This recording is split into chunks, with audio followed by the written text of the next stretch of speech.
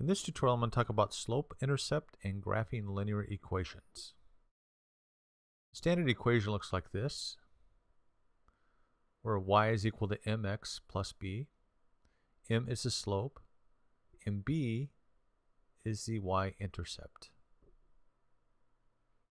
Equations of this type are plotted on the standard x, y coordinate system. y is equal to 1 half times x plus 3 is just an example equation, and I could use any example, but I'll use this equation. When x is 0, we can calculate the y-intercept. Here, x is 4. There, it's 2. And here, it's 0. In fact, anywhere along the y-axis, on the red line there, x is equal to 0. So now I have y is equal to 1 half times 0 plus 3.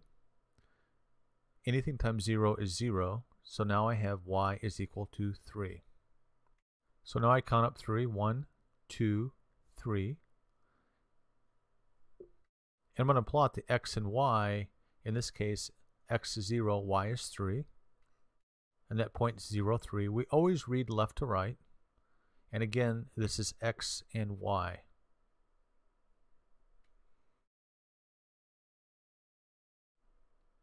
The gray point is the y-intercept, which is also b, and 3 is the y-intercept. The slope is often referred to as the rise over the run. So in this case, we have 1 over 2. It goes up 1 and over 2. So I go up 1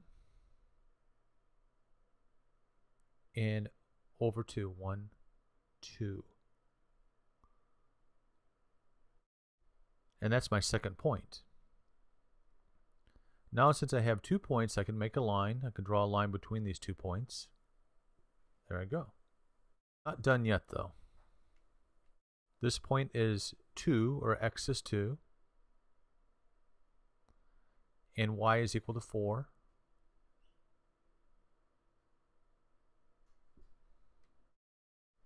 And it's common to put it into a little table like this one.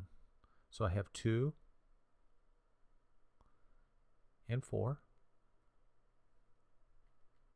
I'm going to put 2 in the equation, so now I replace the x with a 2.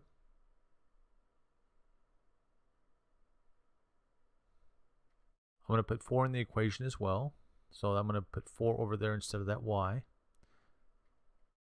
Now I have 4 is equal to 1 plus 3 which is equal to 4 is equal to 4.